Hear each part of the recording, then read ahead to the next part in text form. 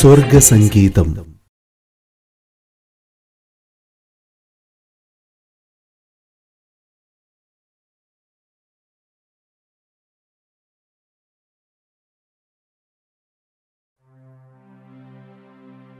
നിങ്ങളിനിയും പാടാൻ പോകുന്ന പാട്ട് കാത്തു കാത്ത് ഏകനായി എന്നുള്ള പാട്ടാണല്ലോ.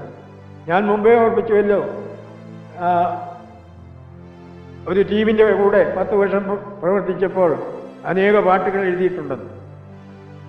അത് ആ ഉപദേശിയുടെ പ്രസംഗം വളരെ ഉണർവുള്ള പ്രസംഗമായി.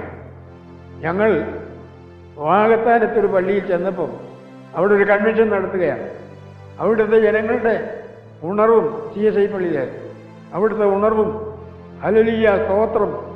ഇതൊക്കെയും ഈ കർത്ത- കർത്താവിന്റെ രണ്ടാമത്തെ വരവിനെക്കുറിച്ച് പറയുമ്പോൾ അങ്ങ് നൃത്തം ചെയ്യുന്ന ഒരു അനുഭവം അവിടെ ഞാൻ കണ്ടു.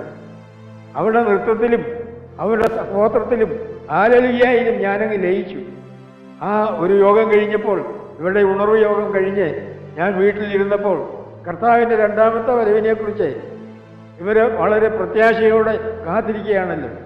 എന്നാൽ ആ ആശയം വെച്ചുകൊണ്ട് ഞാനും ഒരു പാട്ട് എഴുതിയാലോ എന്ന് ഉദ്ദേശിച്ചുകൊണ്ട് അന്ന് എഴുതിയിട്ടുള്ള കർത്താവിന്റെ ഒരു ഉണർവ് യോഗത്തിന്റെ അനുഭവം കണ്ടുകൊണ്ട് കർത്താവിന്റെ വരവിനെക്കുറിച്ച് എനിക്കും എഴുതുവാൻ സാധിക്കണമെന്ന് ഓർത്തുകൊണ്ട് ഞാൻ എഴുതിയ ഒരു പാട്ടാണ് കാത്തുകത്തേകനായി നിൻവരോർത്ത് ഞാൻ നാളെ യേശുദേവ കർത്താവ് എപ്പെ- എപ്പോഴെങ്കിലും വരട്ടെ. എന്നാൽ കർത്താവിന്റെ വരവിനെക്കുറിച്ച് പാടുവാനുള്ള സന്തോഷം എനിക്കുണ്ടായി അങ്ങനെ എഴുതിയിട്ടുള്ള പാട്ടാണ്.